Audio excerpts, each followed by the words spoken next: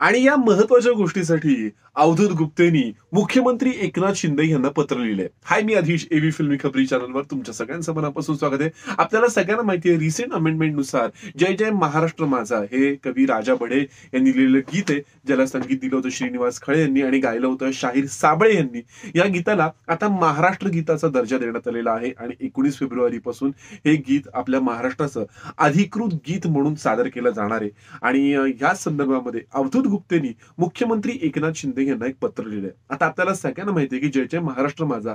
याचं जर तुम्ही नाईन्टीजचे किड्स असाल नाईन्टीज अर्ली टू थाउजंडच्या वेळेला अवधूत गुप्तेनी याचं एक रिमिक्स व्हर्जन बनवलं होतं ज्याच्यामध्ये विवेक ओबरॉय उर्मिला मातुंडकर या सगळ्या लोकांनी काम केलं होतं की ज्याच्यामध्ये हिंदी आणि मराठी असं दोन्हीचं मिक्सर करून जय जय महाराष्ट्र माझा हे गीत सगळ्यांपर्यंत पोहोचवण्यात आलं होतं. आता त्यावेळेला जेव्हा हे गाणं सादर करण्यात आलं होतं. त्यावेळेला अनेक लोकांनी जसं या गाण्याला पसंती दिली होती त्याप्रमाणेच अनेक लोकांनी याच्यावरती टीका सुद्धा केली होती की आपलं हे महाराष्ट्राचं गाणं आहे हे महाराष्ट्र गीत आहे.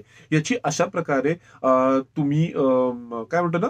अशा पद्धतीने त्याची मांडणी नाही करू शकत. आणि त्याच संदर्भात अवधूत गुप्तेनी एक पत्र मुख्यमंत्री एकनाथ शिंदे यांना असं लिहिलेलं आहे की हे गाणं ज्याला आता अधिकृत दर्जा मिळालेला आहे महाराष्ट्र गीताचा हे कौतुकास्पद आहेच आहे. पण ऍट द सेम टाइम याच्या सादरीकरणावरती तुम्ही थोडंसं जर शिथिलता दाखवली तर हे गाणं जास्तीत जास्त लोकांपर्यंत पोहोचेल. कारण सादरीकरणाच्या नियमांमुळे महाराष्ट्र गीत हे खूप लोकांपर्यंत पोहोचत नाहीये.